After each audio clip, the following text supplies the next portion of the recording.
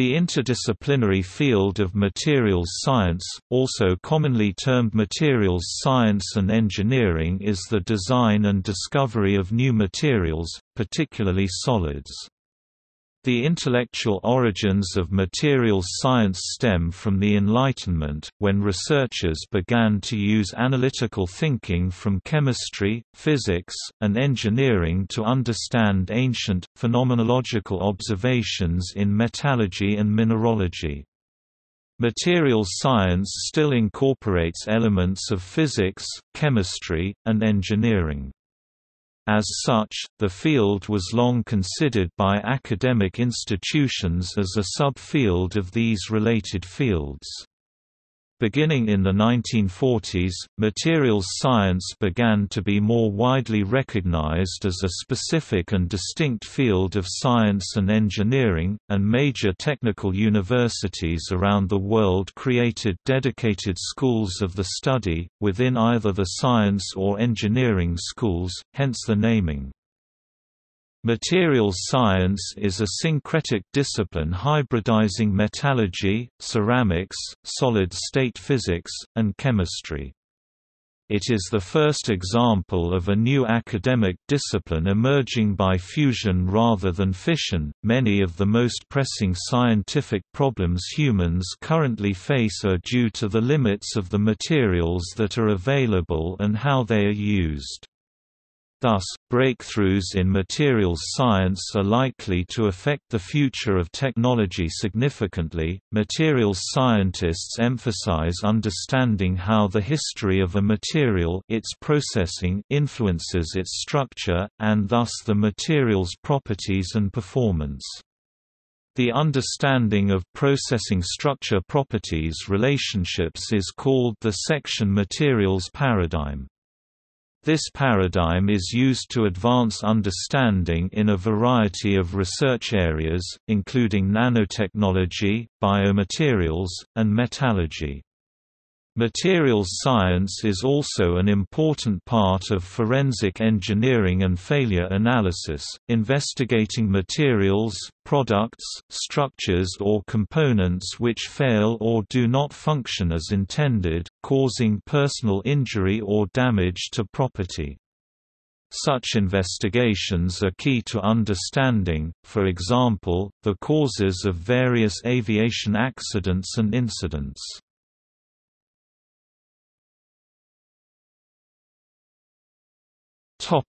History The material of choice of a given era is often a defining point.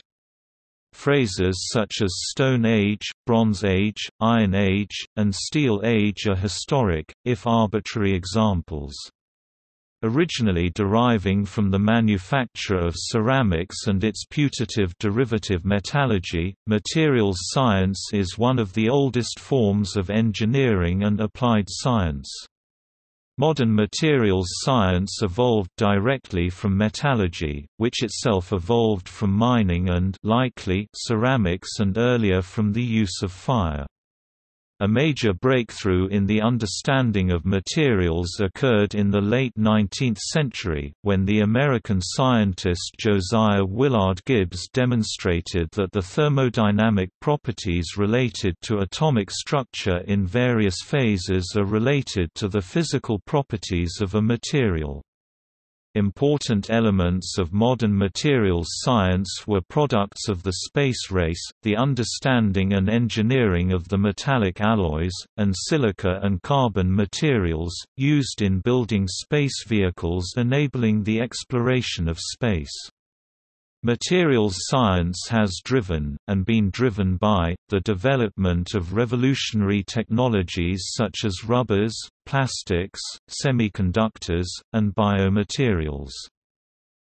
Before the 1960s and in some cases decades after, many eventual materials science departments were metallurgy or ceramics engineering departments, reflecting the 19th and early 20th century emphasis on metals and ceramics. The growth of materials science in the United States was catalyzed in part by the Advanced Research Projects Agency, which funded a series of university-hosted laboratories in the early 1960s to expand the national program of basic research and training in the materials sciences. The field has since broadened to include every class of materials, including ceramics, polymers, semiconductors, magnetic materials, biomaterials, and nanomaterials, generally classified into three distinct groups, ceramics, metals, and polymers. The prominent change in materials science during the recent decades is active usage of computer simulations to find new materials, predict properties, and understand phenomena.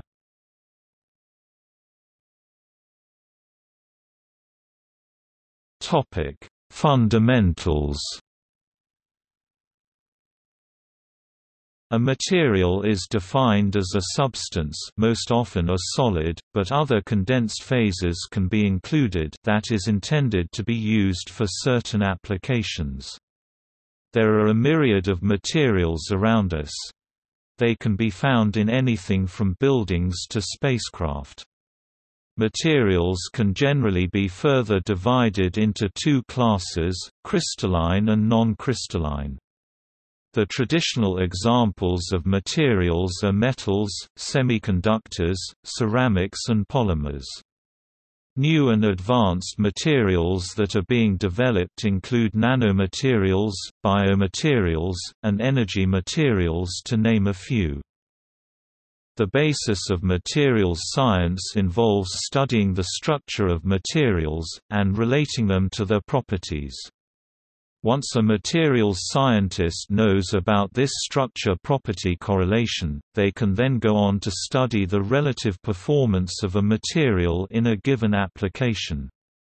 The major determinants of the structure of a material and thus of its properties are its constituent chemical elements and the way in which it has been processed into its final form. These characteristics, taken together and related through the laws of thermodynamics and kinetics, govern a material's microstructure, and thus its properties.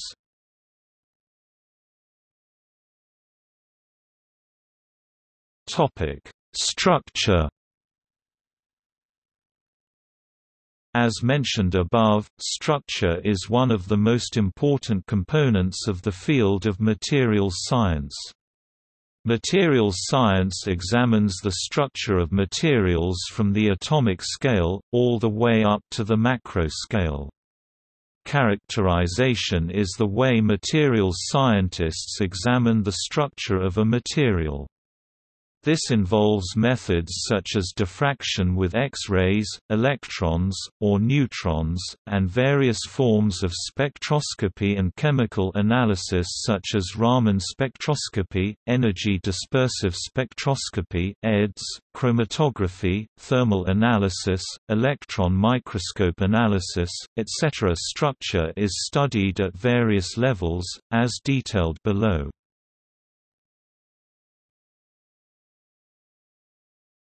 Topic: Atomic structure.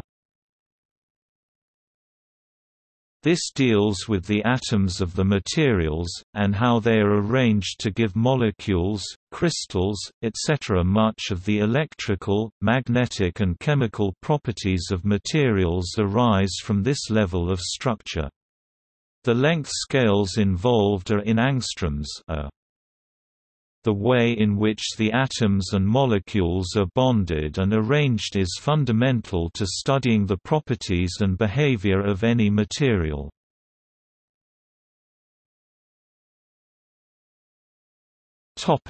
Nanostructure Nanostructure deals with objects and structures that are in the 1 to 100 nanometers range. In many materials, atoms or molecules agglomerate together to form objects at the nanoscale. This causes many interesting electrical, magnetic, optical, and mechanical properties. In describing nanostructures it is necessary to differentiate between the number of dimensions on the nanoscale. Nanotextured surfaces have one dimension on the nanoscale, i.e., only the thickness of the surface of an object is between 0.1 and 100 nanometers. Nanotubes have two dimensions on the nanoscale, i.e., the diameter of the tube is between 0.1 and 100 nanometers, its length could be much greater.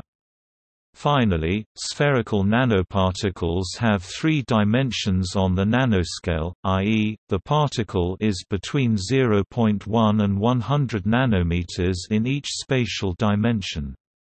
The terms nanoparticles and ultrafine particles UFP often are used synonymously although UFP can reach into the micrometer range. The term nanostructure is often used when referring to magnetic technology. Nanoscale structure in biology is often called ultrastructure. Materials which atoms and molecules form constituents in the nanoscale i.e., they form nanostructure are called nanomaterials. Nanomaterials are subject of intense research in the materials science community due to the unique properties that they exhibit.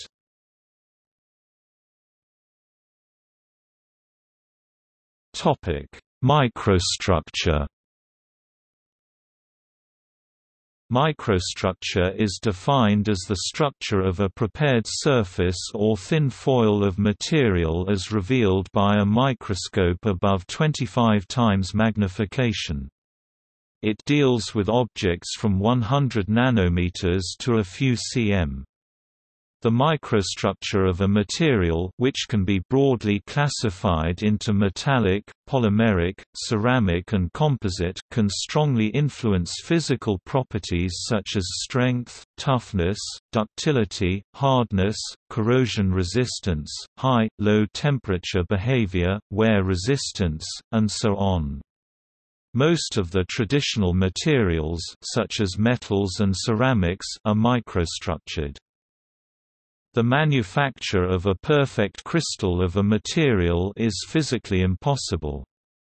For example, any crystalline material will contain defects such as precipitates, grain boundaries Hall-Petch relationship, vacancies, interstitial atoms or substitutional atoms.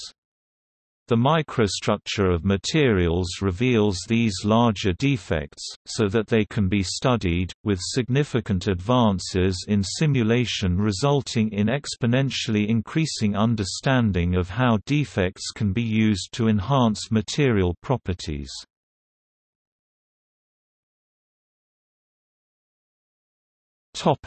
Macrostructure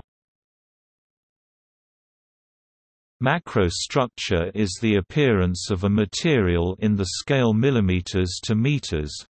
It is the structure of the material as seen with the naked eye.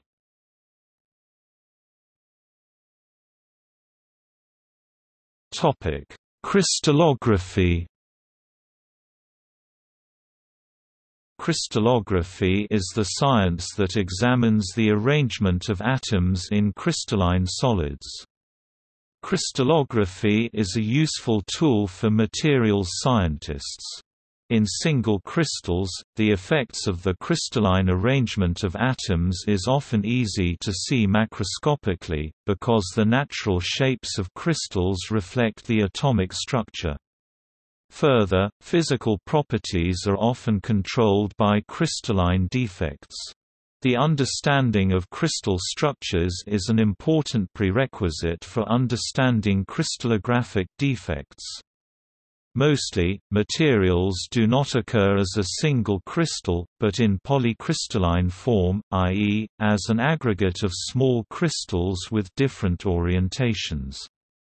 Because of this, the powder diffraction method, which uses diffraction patterns of polycrystalline samples with a large number of crystals, plays an important role in structural determination. Most materials have a crystalline structure, but some important materials do not exhibit regular crystal structure. Polymers display varying degrees of crystallinity, and many are completely non-crystalline. Glass, some ceramics, and many natural materials are amorphous, not possessing any long-range order in their atomic arrangements. The study of polymers combines elements of chemical and statistical thermodynamics to give thermodynamic and mechanical, descriptions of physical properties.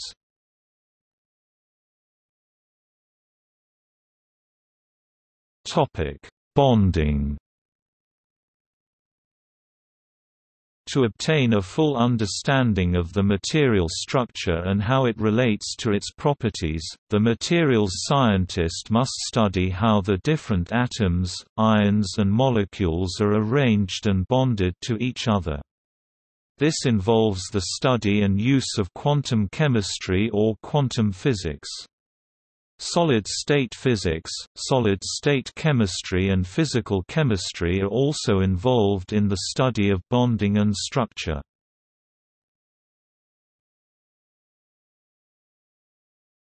Topic Properties Materials exhibit myriad properties, including the following Mechanical properties, see strength of materials Chemical properties, see chemistry. Electrical properties, see electricity.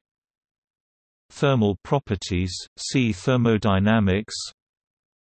Optical properties, see optics and photonics. Magnetic properties, see magnetism The properties of a material determine its usability and hence its engineering application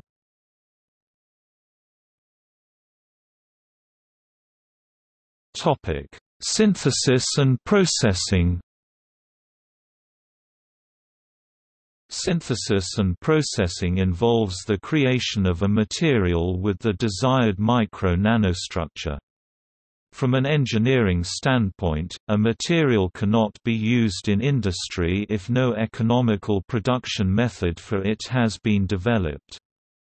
Thus, the processing of materials is vital to the field of materials science. Different materials require different processing or synthesis methods.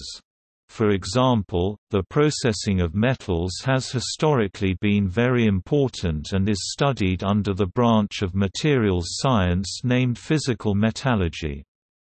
Also, chemical and physical methods are also used to synthesize other materials such as polymers, ceramics, thin films, etc. As of the early 21st century, new methods are being developed to synthesize nanomaterials such as graphene.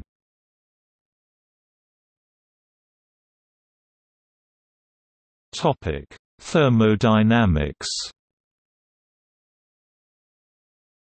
Thermodynamics is concerned with heat and temperature and their relation to energy and work.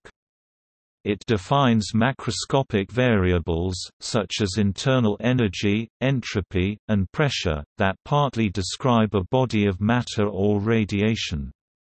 It states that the behavior of those variables is subject to general constraints common to all materials. These general constraints are expressed in the four laws of thermodynamics. Thermodynamics describes the bulk behavior of the body, not the microscopic behaviors of the very large numbers of its microscopic constituents, such as molecules.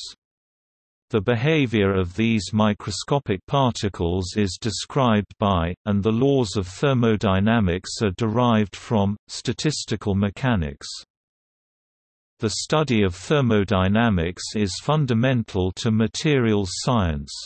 It forms the foundation to treat general phenomena in materials science and engineering, including chemical reactions, magnetism, polarizability, and elasticity. It also helps in the understanding of phase diagrams and phase equilibrium.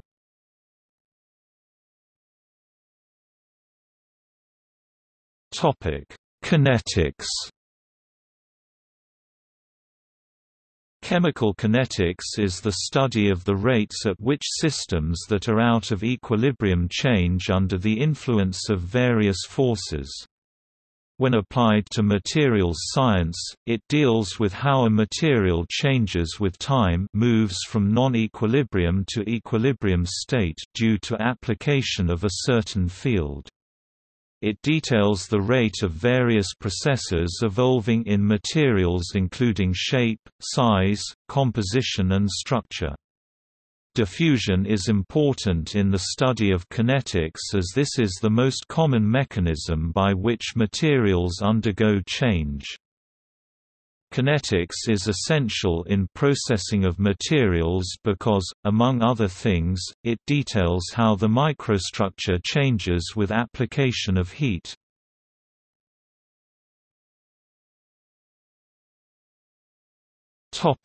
In research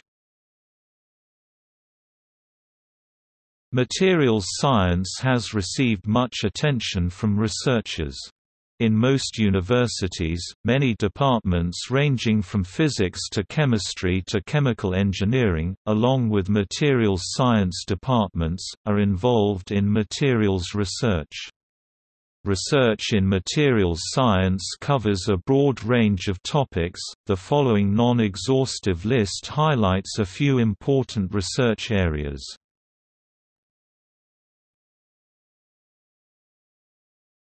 Topic: Nanomaterials.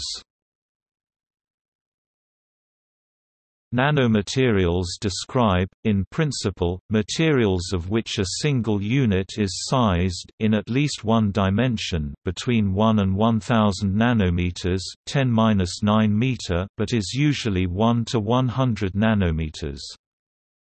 Nanomaterials research takes a materials science-based approach to nanotechnology, using advances in materials metrology and synthesis which have been developed in support of microfabrication research. Materials with structure at the nanoscale often have unique optical, electronic, or mechanical properties.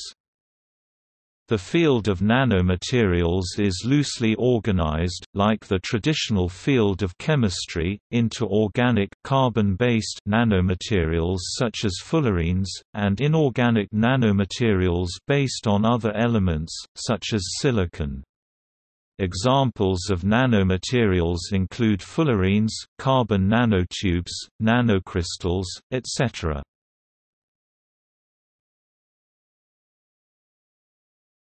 Topic: Biomaterials.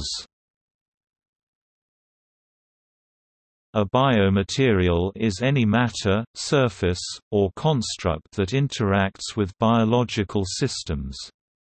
The study of biomaterials is called biomaterials science. It has experienced steady and strong growth over its history, with many companies investing large amounts of money into developing new products. Biomaterials science encompasses elements of medicine, biology, chemistry, tissue engineering, and materials science.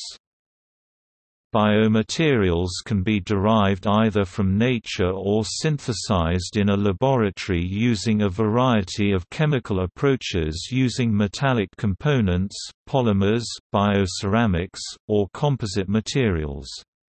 They are often intended or adapted for medical applications, such as biomedical devices which perform, augment, or replace a natural function.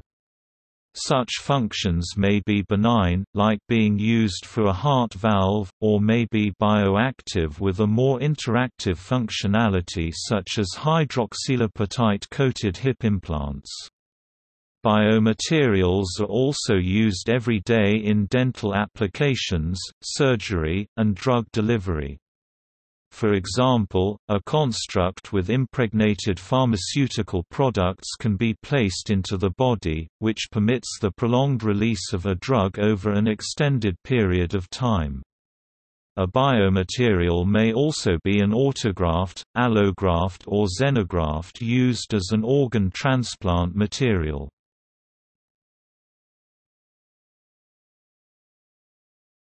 Topic: Electronic, optical, and magnetic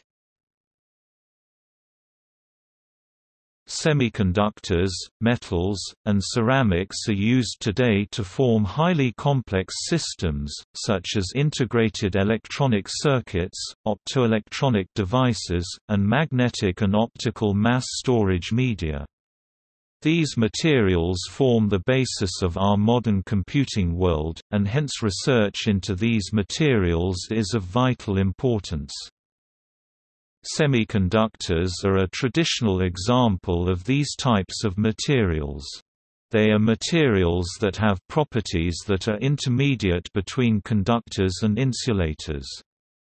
Their electrical conductivities are very sensitive to the concentration of impurities, which allows the use of doping to achieve desirable electronic properties. Hence, semiconductors form the basis of the traditional computer. This field also includes new areas of research such as superconducting materials, spintronics, metamaterials, etc. The study of these materials involves knowledge of materials science and solid-state physics or condensed matter physics.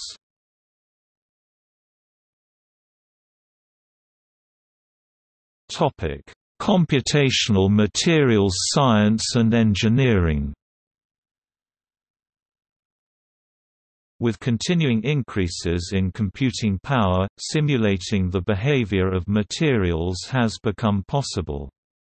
This enables materials scientists to understand behavior and mechanisms, explain properties formerly poorly understood, and even to design new materials. Efforts surrounding integrated computational materials engineering are now focusing on combining computational methods with experiments to drastically reduce the time and effort to optimize materials properties for a given application. This involves simulating materials at all length scales, using methods such as density functional theory, molecular dynamics, Monte Carlo algorithm, dislocation dynamics, phase field models, finite element method, and many more.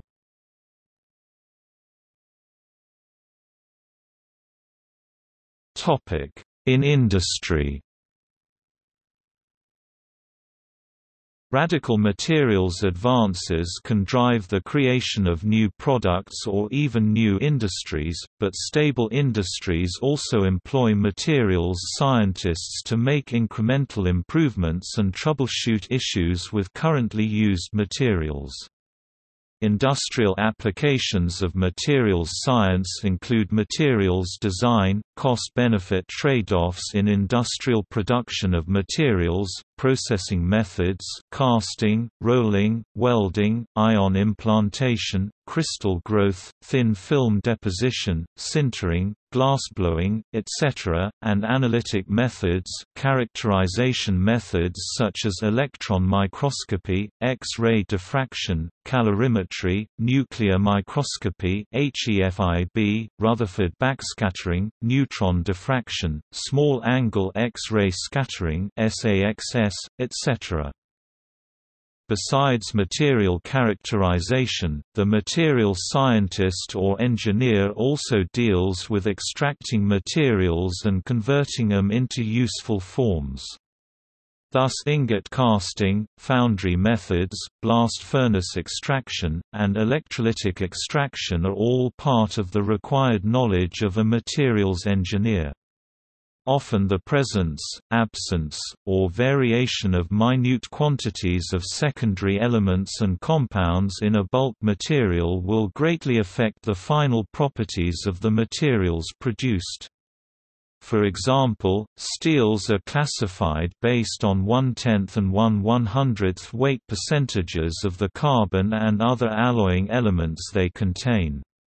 Thus, the extracting and purifying methods used to extract iron in a blast furnace can affect the quality of steel that is produced.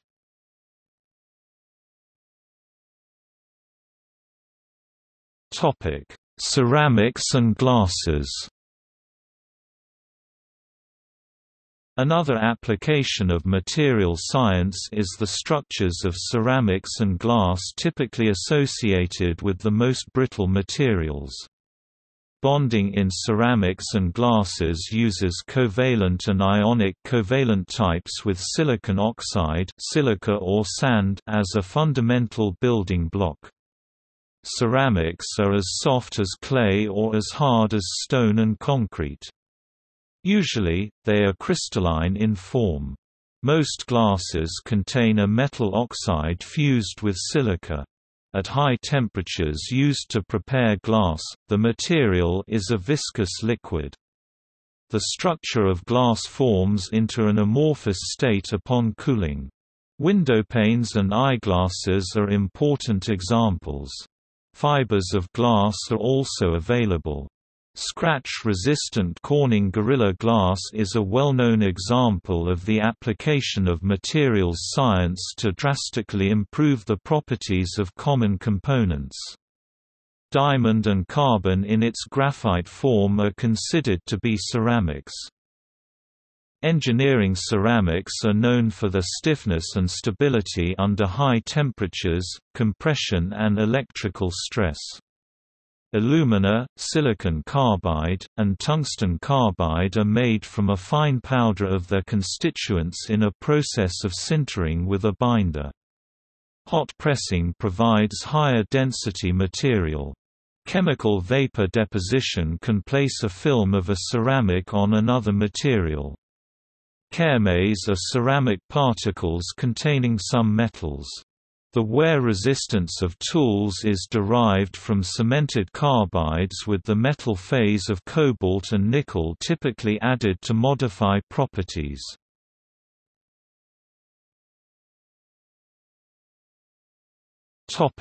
Composites Filaments are commonly used for reinforcement in composite materials. Another application of materials science in industry is making composite materials. These are structured materials composed of two or more macroscopic phases. Applications range from structural elements such as steel-reinforced concrete, to the thermal insulating tiles which play a key and integral role in NASA's Space Shuttle thermal protection system which is used to protect the surface of the shuttle from the heat of re-entry into the Earth's atmosphere. One example is reinforced carbon-carbon (RCC), the light gray material which withstands re-entry temperatures up to 1510 degrees Celsius (2750 degrees Fahrenheit) and protects the Space Shuttle's wing leading edges and nose cap. RCC is a laminated composite material made from graphite rayon cloth and impregnated with a phenolic resin.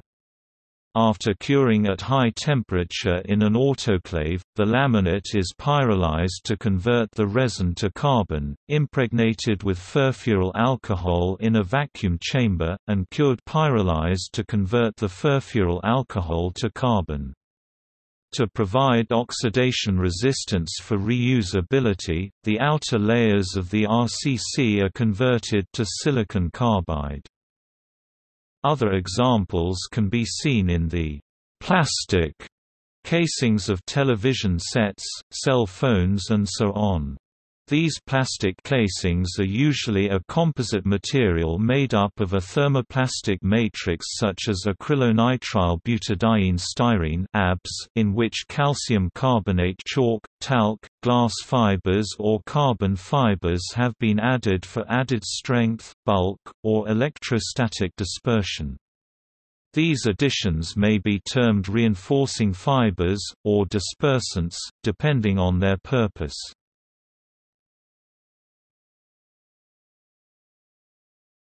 Topic: Polymers. Polymers are chemical compounds made up of a large number of identical components linked together like chains. They are an important part of materials science.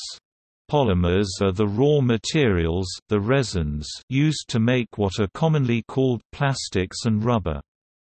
Plastics and rubber are really the final product, created after one or more polymers or additives have been added to a resin during processing, which is then shaped into a final form.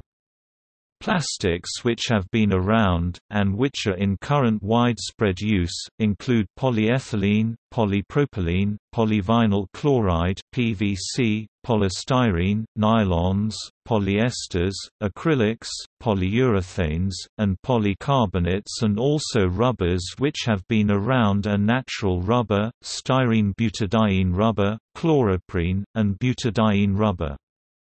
Plastics are generally classified as commodity, specialty and engineering plastics.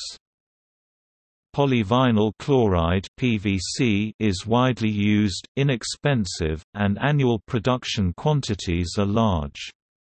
It lends itself to a vast array of applications, from artificial leather to electrical insulation and cabling, packaging, and containers. Its fabrication and processing are simple and well established. The versatility of PVC is due to the wide range of plasticizers and other additives that it accepts. The term, additives, in polymer science refers to the chemicals and compounds added to the polymer base to modify its material properties. Polycarbonate would be normally considered an engineering plastic other examples include PEEK, ABS. Such plastics are valued for their superior strengths and other special material properties. They are usually not used for disposable applications, unlike commodity plastics. Specialty plastics are materials with unique characteristics, such as ultra-high strength, electrical conductivity, electrofluorescence, high thermal stability, etc. The dividing lines between the various types of plastics is not based on material but rather on their properties and applications. For example, polyethylene P is a cheap, low-friction polymer commonly used to make disposable bags for shopping and trash, and is considered a commodity plastic, whereas medium-density polyethylene MDPE is used for underground gas and water pipes, and another variety called ultra-high molecular weight polyethylene UHMWPE is an engineering plastic which is used extensively as the glide rail rails for industrial equipment and the low-friction socket in implanted hip joints.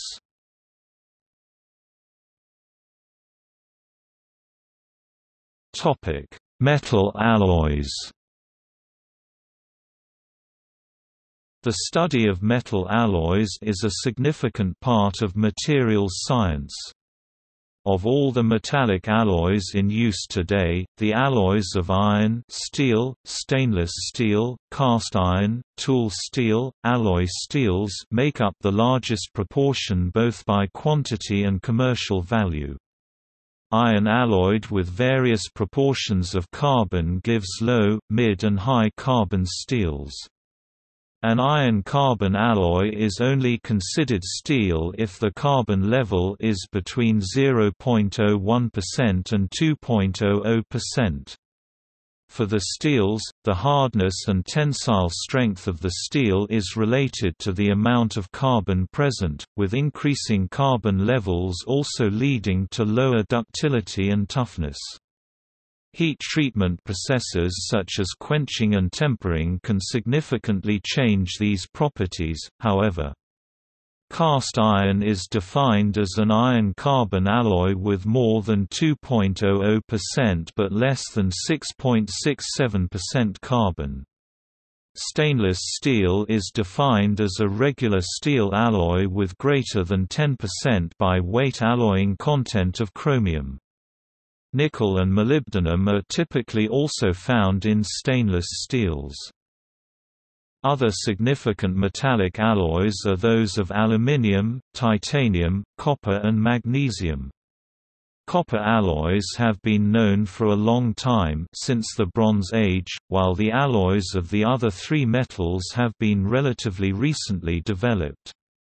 Due to the chemical reactivity of these metals, the electrolytic extraction processes required were only developed relatively recently. The alloys of aluminium, titanium and magnesium are also known and valued for their high strength-to-weight ratios and, in the case of magnesium, their ability to provide electromagnetic shielding. These materials are ideal for situations where high strength-to-weight ratios are more important than bulk cost, such as in the aerospace industry and certain automotive engineering applications.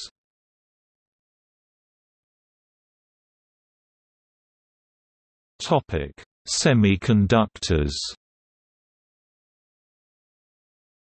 The study of semiconductors is a significant part of materials science.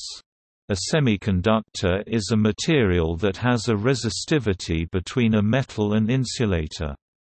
Its electronic properties can be greatly altered through intentionally introducing impurities or doping. From these semiconductor materials, things such as diodes, transistors, light-emitting diodes LEDs, and analog and digital electric circuits can be built, making them materials of interest in industry. Semiconductor devices have replaced thermionic devices vacuum tubes in most applications. Semiconductor devices are manufactured both as single discrete devices and as integrated circuits ICs, which consist of a number—from a few to millions—of devices manufactured and interconnected on a single semiconductor substrate. Of all the semiconductors in use today, silicon makes up the largest portion both by quantity and commercial value. Monocrystalline silicon is used to produce wafers used in the semiconductor and electronics industry. Second to silicon, gallium arsenide, gallium arsenide is the second most popular semiconductor used. Due to its higher electron mobility and saturation velocity compared to silicon, it is a material of choice for high-speed electronics applications.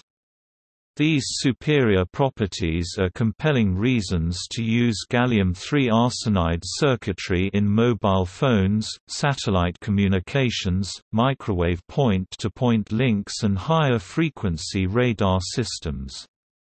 Other semiconductor materials include germanium, silicon carbide, and gallium nitride and have various applications.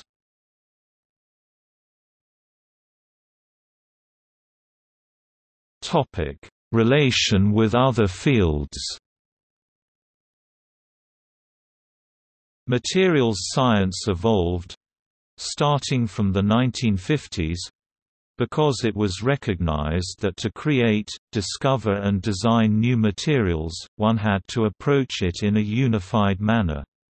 Thus, materials science and engineering emerged in many ways, renaming and or combining existing metallurgy and ceramics engineering departments, splitting from existing solid-state physics research, itself growing into condensed matter physics, pulling in relatively new polymer engineering and polymer science, recombining from the previous, as well as chemistry, chemical engineering, mechanical engineering, electrical engineering, and more. The field is inherently interdisciplinary, and the materials scientists, engineers must be aware and make use of the methods of the physicist, chemist and engineer. The field thus maintains close relationships with these fields. Also, many physicists, chemists and engineers also find themselves working in materials science. The field of materials science and engineering is important both from a scientific perspective, as well as from an engineering one. When discovering new materials, one encounters new phenomena that may not have been observed before. Hence, there is a lot of science to be discovered when working with materials. Materials science also provides a test for theories in condensed matter physics.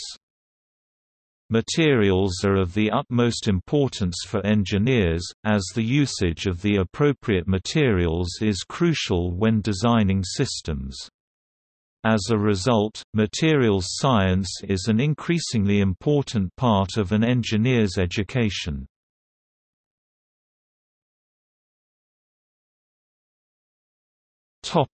Emerging technologies in materials science